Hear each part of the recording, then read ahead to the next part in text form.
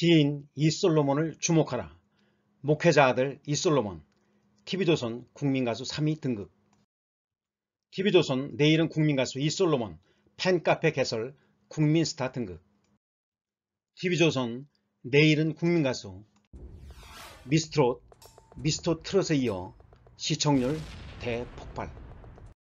국민가수 1회 시청률, 전국 시청률 16.1%, 최고 시청률 18.0%. 마지막 회 시청률, 평균 시청률 18.8%, 최고 시청률 19.9%. TV조선 내일은 국민가수 최종 결과 1위 박찬근, 2위 김동현, 3위 이솔로몬, 4위 박장현, 5위 이병찬, 6위 고은성, 7위 손진욱, 국민가수 최종 3위 이솔로몬. 이솔로몬님의 3위를 진심으로 축하드립니다. 이솔로몬은 과연 누구인가? 종교는 기독교입니다. 아버님은 목사이십니다. 이솔로몬은 최종 결승전에서 13살 때 목회자인 아버지가 돌아가신 후 홀로 생계를 책임지며 자신을 지켜준 어머니에게 바치는 사모곡 임재범의 이 또한 지나가리라를 선곡했는데요. 이 솔로몬의 열창에 어떤 프로 가수 못지않게 멋지게 대미를 장식했다는 호평이 쏟아졌습니다. 중간순위 1위에 올랐던 이 솔로몬은 최종 1, 2, 3위 3명 중 가장 먼저 3위로 이름이 불렸지만 누구보다 앞선 둘을 향해 환하게 박수를 보냈습니다. 결승 인생곡으로 이 솔로몬이 선택한 노래는 임재범의 이 또한 지나가리라인데요. 그동안의 모든 것을 쏟아붓는 모습이었습니다. 그가 13살의 여인 아버지의 납골 땅을 찾아 다짐하는 모습이 관객들의 눈시울을 적셨는데요. 아버지께서 돌아가셨을 때 너무 충격이 크게 왔어요. 어머니 혼자 생계를 책임져야 하는 게 힘들어 보였고 더 나은 형편으로 살 수 없어서 제 인생이 비참하다. 쓸모없는 인생이다 하며 우울했어요. 이제 무대가 하나 남았는데 아버지 아들답게 잘하고 오겠습니다. 그는 어머니를 위한 선곡이라고 했는데요. 마스터 이석훈은 참고 참고 누르고 눌러도 눈물을 누를 수가 없었다. 듣는 동안 어머니에 대해 아주 마음껏 생각할 수 있었고 이 사람 진짜 멋진 사람이구나. 단단함을 넘어 담대함을 갖춘 사람이라는 걸 느꼈다고 말했습니다. 윤명선 마스터는 영화배우 해도 되는 정도로 얼굴의 표정이 음악을 심하게 도와주고 있다. 그런데 파워까지 곁들여져 무기처럼 치고 나와서 어떤 프로가서 못지않게 데미장식을 정말 훌륭하게 했다고 말했죠. 그의 묵직한 발성과 어울리는 선곡에 박수가 이어졌습니다. 이 솔로몬은 최고점 100점, 최저점 97점이라는 높은 점수를 받으며 단숨에 1위로 뛰어올랐죠. 노래 실력으로 중간 집계까지 1위에 올랐으나 안타깝게도 문자 투표에서 밀려 3위로 내려앉고 말았습니다. 수필집까지 낸 그는 깔끔한 외모에 중저음의 목소리로 인기를 얻었는데요. 이제 최종 3위에 오른 이 솔로몬님에게 국민 가수로서의 맹활약을 기대해봅니다.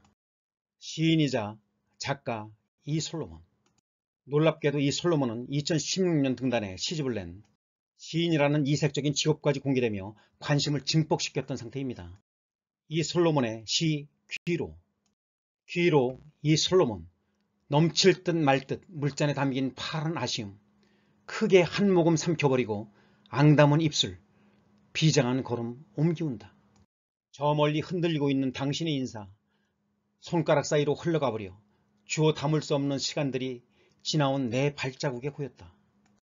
돌아오는 기차에 올라 스치우는 당신을 한 폭의 풍경에 옮겨놓고 빈 여백 사이로 흘러가는 당신을 가만히 들여다보면 성기 어린 거리 사이로 당신의 온기가 스미는구나. 멀어질수록 그리워지고 흐를수록 아련해지는 당신의 초상이 마음 두드린 기적소리 되고 짙게 쌓인 한숨 지난 철길에 덩그러니 남기운다. 소설바람 쉬어간 기억 한 캔에 놓인 한 장의 수채와 메마른 종이를 덮은 수분이 여백을 적시고 축축한 한 덩이 물감 비어버린 당신을 메운다. 굳게 닫힌 입술 사이로 당신이 흘러내린다. 시인이자 작가 이 솔로몬은 국민가수 첫 해부터 많은 사람들의 이목을 집중시켰는데요. 이치현의 집시 여인으로 올 하트를 받으며 마스터들 사이에 매력남으로 등극했죠. 올 하트였음에도 불구하고 소화하지 못한 아쉬움을 담아 그에 대해 살펴봅니다. 상경부로 출전한 이 솔로몬은 공식 홈페이지 자기소개에 대구 집시라는 닉네임으로 소개해 놓았는데요.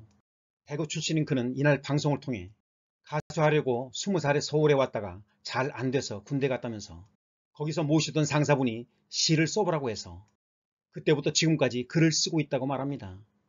현재 산문집 하나를 출간했다고 덧붙였지요. 지난해 7월 출간된 그 책의 더운 표지가 좋았다라는 책이네요. 머물기도 하고 떠나버리기도 하는 순간들에 대한 자신의 느낌을 모아 담았다고 합니다. 집시가 방랑객이기도 하지만 시집을 받고 말한 것일 수도 있다는 생각이 드네요. 노래에 대한 갈망과 오랜 기다림이 글이라는 문자로 형성화된 것이지요. 이날 그의 노래는 마스터들을 단번에 사로잡았습니다. 외모에 대해 호감도를 표하는 모습도 적지 않았습니다. 윤명선 마스터는 잘생긴 외모에 굉장히 음악적이라면서 비트를 조금만 더 타면 좋겠다. 다음 무대에는 경상도 사내의 패기를 보여달라고 말했고 김범수 마스터는 약간 좀 묘하다. 이런 게 흡입력인가 라고 했고 마스터 K윌도 비슷한 매력을 느끼는 듯 했습니다. 어정쩡하게 시작했고 소리도 안 날 것 같은데 나고 반전 매력을 보여주신 것 같다고 말했죠. 예명 같은 그의 이름 솔로몬도 화제였죠. 목회자인 아버지가 지어주신 본명이라고 했습니다. 그는 방송에서 솔로몬같이 지혜롭게 살라는 의미로 지어주지 않았나 싶다고 말했습니다. 아버지의 바람이 이루어지고 있는 거겠죠. 2016년 시 부문 신인상을 받을 만큼 문학성과 글재지도 상당하니 말이죠. 책장을 넘기며 수려한 글자를 마음속에 주워담고 이를 현실적인 언어로 표현하는 문학 청년이 바로 연상되는데요. 제작진의 이야기를 들어보니 곱상한 외모와 달리 굳은 일을 도맡아 해왔다고 하네요. 아버지가 돌아가시면서 생계를 책임져야 해 안 해본 아르바이트가 없다더군요. 진로를 받고 글을 쓰며 살아왔지만 노래에 대한 꿈은 포기할 수 없었다고 합니다. 국민가수 모집 공고를 보자마자 가슴 뛰는 자신을 발견했다지요. 한국예술문화단체 총연합회 종합예술지 예술세계에서 신인상을 받은 귀로라는 작품입니다. 당시 그는 당선 소감을 통해 글과 시인이라는 글로 자신을 이끌어준 군대 연대장님께 감사를 보내면서 마음만 먹으면 그곳에 닿을 수 있게 만들어 주었던 글이라고 말하고 있습니다. 현실은 점점 뜻한 바와 이론해지는 듯하고 아등바등 빠져나오려고 해도 더 깊은 수렁에 빠져들인 기분이 들 때 그에겐 글이라는 희망가가 있었습니다. 이제 원하던 노래로 다시 한번 도약하려는 솔로몬의 지혜를 들어봅니다. 이 솔로몬의 감사의 글 종합편성 채널 TV조선의 내일은 국민가수 경연에서 3위로 마무리한 이 솔로몬이 팬들에게 감사의 뜻을 전했는데요. 이 솔로몬은 12월 23일 밤 내일은 국민가수 마지막 결선이 방송되기 직전 인스타그램에 글을 올렸습니다. 이 솔로몬 인스타그램 감사의 글.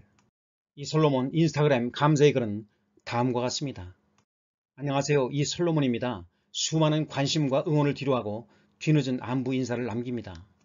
모두들 평안하신지요. 마지막 생방을 앞두고 감사와 응원의 인사를 전하고자 안부 남깁니다. 글 쓰고 노래하며 삶을 살아갈 수 있다면 제 생에 더 큰 아쉬움은 없다며 도전했던 이 도전이 어느덧 마지막 무대만을 남겨두게 됐습니다. 그간의 노고와 사랑에 두 손을 모아 심심한 감사의 마음을 전합니다.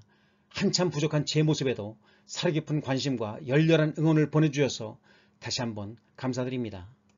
남은 시간과 앞으로의 모든 행보에도 늘 걸음을 함께할 여러분이 모두 제 친구였으면 합니다.